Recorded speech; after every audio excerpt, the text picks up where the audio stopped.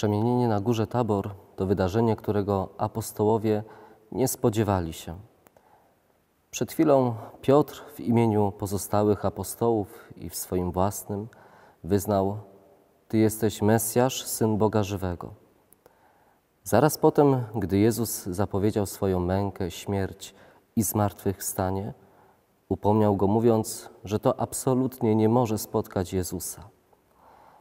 Następnie na górze Tabor Jezus odsłonił rąbek tajemnicy boskiego życia.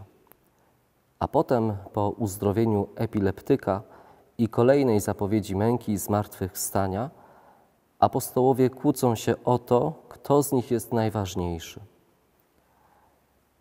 Mówi się, że ludzie mają dobrą pamięć, ale często niestety krótką.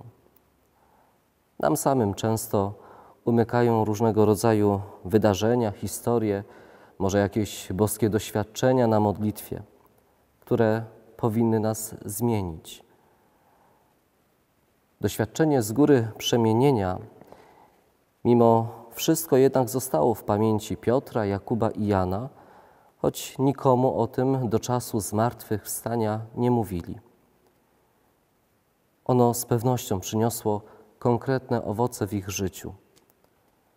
Tak samo my potrzebujemy ćwiczyć naszą pamięć o Bożej obecności, że On stale jest obok, by, by umacniać. Może i nie staniemy się z dnia na dzień lepszymi, świętszymi, ale z pewnością będziemy coraz bliżej Boga i Jego spraw.